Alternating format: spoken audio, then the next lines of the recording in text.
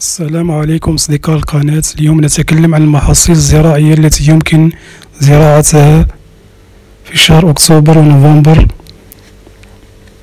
مثل الخضروات الورقية اللفت السبانخ الخس البصل والثوم الجزر البازلاء بطاطس وفوز السوجا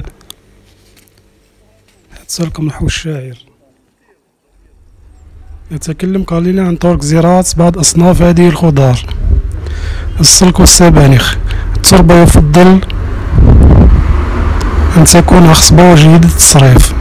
وتزرع البذور مباشرة في التربة بعمق حوالي واحد سنتيم.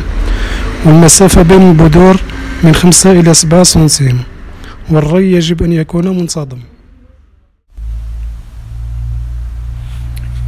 زراعة الجزر. الجزر يفضل التربة الرملية الخفيفة. التي تسمح للجذور بالنمو بسهولة. يحتاج الجزر إلى مكان مشمس للحصول على أفضل نتائج. الري المنتظم مهم خاصة في المراحل الأولى من النمو. زرع البذور مباشرة في التربة بعمق حوالي واحد إلى اثنين سنتيم وتحتاج بذور الجزر إلى درجات حرارة تتراوح من سبعة إلى ثلاثين درجة مئوية. المسافة بين البذور عند الزراعة اترك مسافة حوالي اثنين إلى ثلاثة بين البذور وبعد الإنبات وظهور النباتات قم بتخفيف لتترك مسافة حوالي سبعة سنتيم. البصل والثوم التربة يجب أن تكون خصبة وجيدة التصريف. الزراعة. البصل يزرع بالبذور بعمق حوالي اثنين إلى ثلاثة سنتيم والثوم يزرع بالفصوص بعمق حوالي من اثنين إلى ثلاثة سنتيم. الري يحتاج إلى ري معتدل. زراعة الخس. الخس يفضل التربة الخصبة الرملية الطينية ذات التصريف الجيد.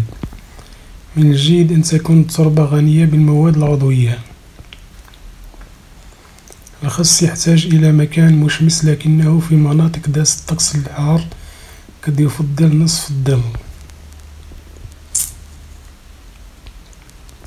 يمكن زراعة البذور مباشرة في التربة أو بدء الزراعة داخليا ونقل الشتلات في وقت لاحق. عند زرع البذور مباشرة زرعها بعمق حوالي صفر فاصل خمسة سنتيم.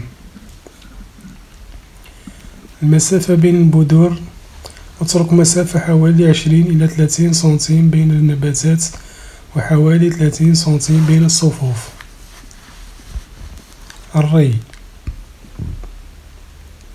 الخس يحتاج إلى ترطيب مستمر تجنب الري المباشر على الأوراق خلال أوقات الحر الشديد للحد من خطر حدوث حروق الأوراق. استخدم سماد عضوي متوازن قبل الزراعة. يمكن إضافة سماد سائل خفيف خلال موسم النمو. في الفيديو القادم إن شاء الله سوف نتكلم عن محاصيل أخرى يمكن أن نزرعها في شهر أكتوبر وشهر نوفمبر.